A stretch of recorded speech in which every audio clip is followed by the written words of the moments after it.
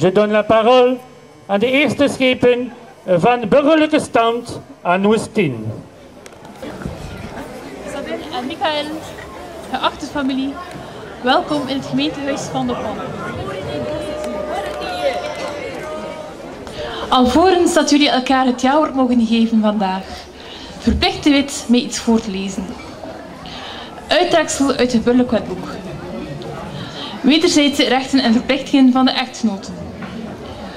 De rechten, verplichtingen en bevoegdheden van de echtgenoten worden geregeld door de bepaling van dit hoofdstuk. Die van toepassing zijn door het enkel feit van het huwelijk. Het huwelijk wijst de behandelkwaamheid van de echtgenoten niet. Echtgenoten zijn eens elkaar tot samenwoning verplicht. Zijn elkaar trouwheid, hulp en bijstand verschuldigd. Iedere echtgenoot heeft het recht en beroep uitoefenen zonder de instemming van een andere echtgenoot. Iedere echtgenoot ontvangt zijn inkomsten alleen en besteedt bij voorrang aan zijn bijdrage in het huwelijk. Iedere echtgenoot draagt in het huwelijk bij naar zijn vermogen.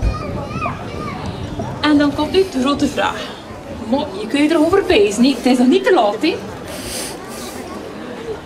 Jonge heer van Malen, Michel, Andreas, Philippe, Johannes, neemt als wettige echtgenote juffrouw Koisman, Isabel, Els, Hendrika tot uw wettige echtgenote. Ja. Juffrouw Koisman, Isabel, Els, Hendrika, neemt als wettige echtgenoot meneer Van Malen, Michel, Andreas, Philippe, Johannes. Ja. In naam van de wet verklaar ik u het huwelijk vreemd. Proficiat.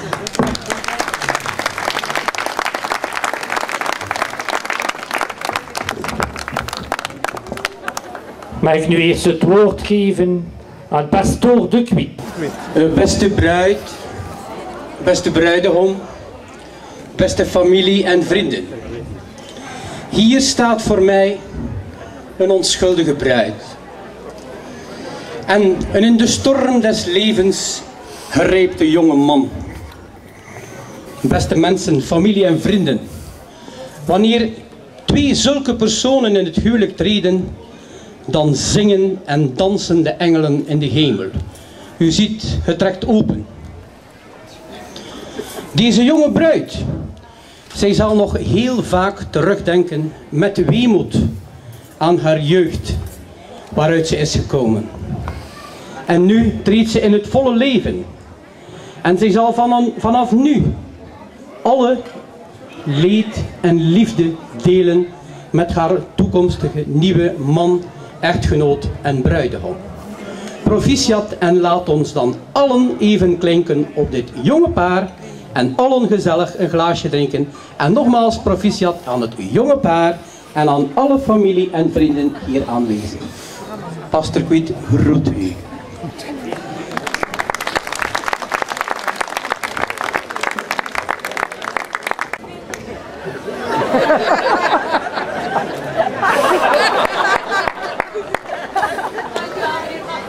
U mag u neerzetten alstublieft voor de voorlezing van de akte door de secretaris. Huwelijk van Male Michael en Koisman Isabel.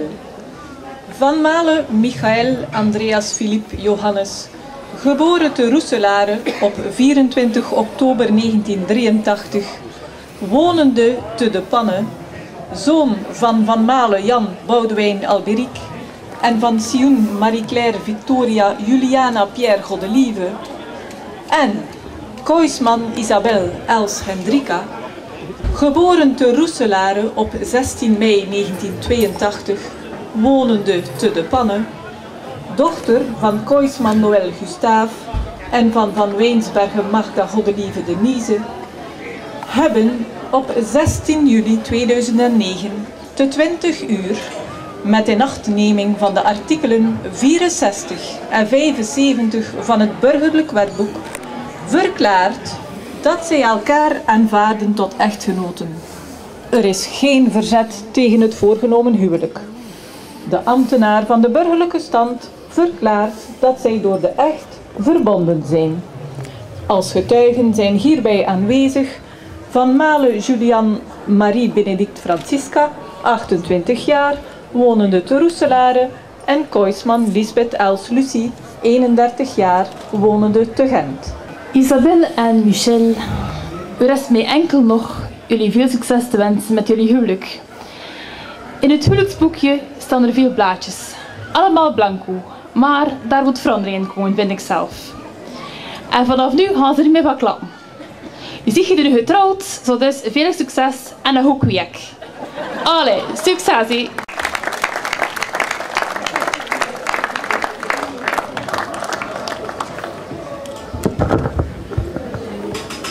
Mag ik dan nu de familie uitnodigen aan tafel te gaan?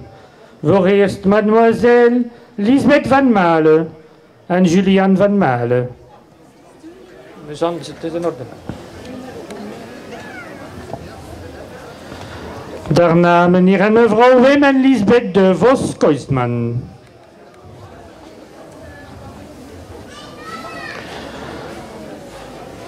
En dan de ouders en de schoonouders die alles gaan betalen. Meneer en mevrouw Jan en Claire van Malen-Sion. En meneer en mevrouw Noël en Magda Koisman van Winsbergen.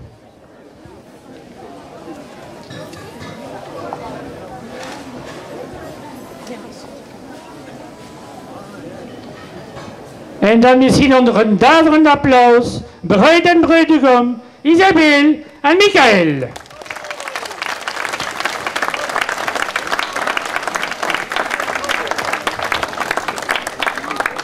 De muzikale omlijsting tijdens het bruidsmaal wordt nu verzorgd door de laadbloeiers uit stekende Oost-Vlaanderen.